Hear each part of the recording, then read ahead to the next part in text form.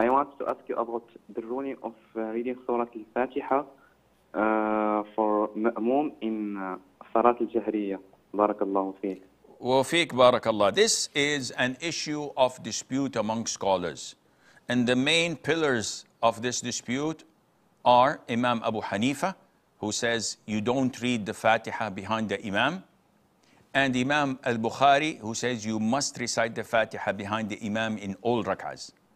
And the middle path was chosen by Imam Malik, may Allah have mercy upon them all, who said in silent rak'ah, it is a fard that your prayer is invalid to recite the Fatiha. If you don't recite the Fatiha in silent rak'ah, in, in silent rak'ahs, your prayer is invalid as a ma'moom, as a follower.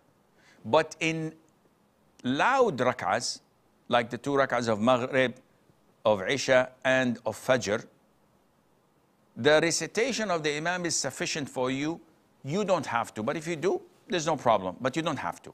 And if you deliberately skip it, there's no problem. His, his recitation is sufficient for you.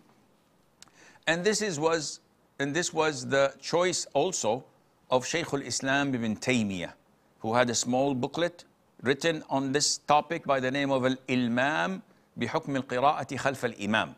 And this is what he concluded. May Allah have mercy on them all. And this is what I'm inclined to, in a nutshell.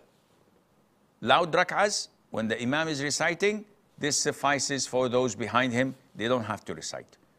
Silent rak'ahs, they all must recite or their prayer is invalid.